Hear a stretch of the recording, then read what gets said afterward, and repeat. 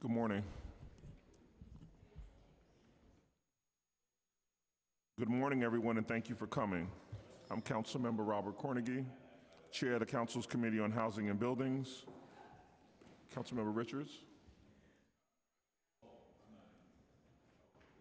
You di- you disturbing my, my, my hearing? You're acting real short today. Here we go. Good morning, everyone, and thank you for coming. I'm Councilmember Robert Cornegy, Chair of the Council's Committee on Housing and Buildings.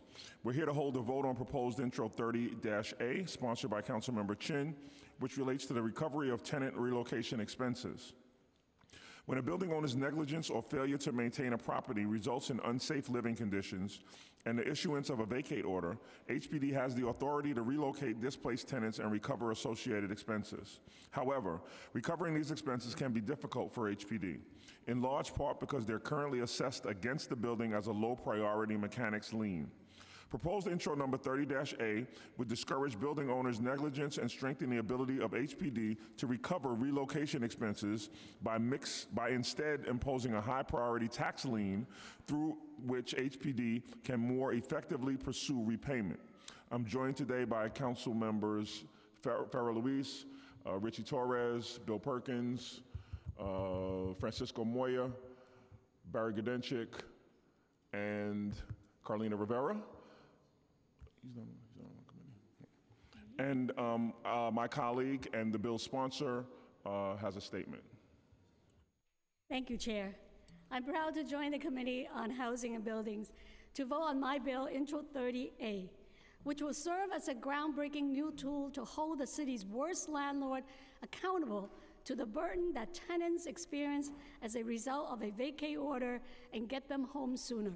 This bill will require the Department of Housing Preservation and Development to create a first of its kind system to charge landlords for temporary relocation costs by requiring landlords to pay up for the temporary housing for residents displaced by a vacate order, this bill will ease the burden on displaced families, hold bad landlords accountable for their repeated offenses against tenants, incentivize landlords to complete the required repair work faster so that tenants can return home as soon as possible.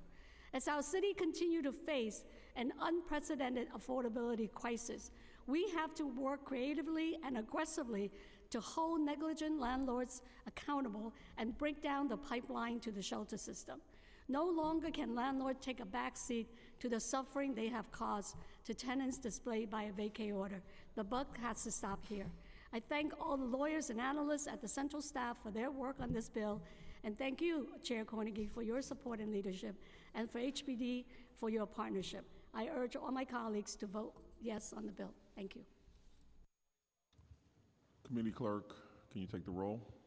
William Martin, Committee Clerk, roll call vote, Committee on Housing and Building- Buildings, Introduction 30-A, Chair Cornegy. I vote aye. Chin. I vote aye. Torres. Grodenchik. Perkins. Aye. Rivera. Aye. By a vote of six in the affirmative, zero in the negative.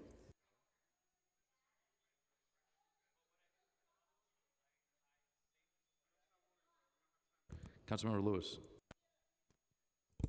By a vote of seven in the affirmative, zero in the negative, and no abstentions, item has been adopted by the committee.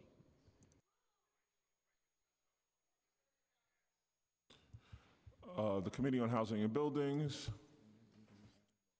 Oh, we're going to leave the roll open uh, for Councilmember Rosenthal, who's at a press conference for a few minutes.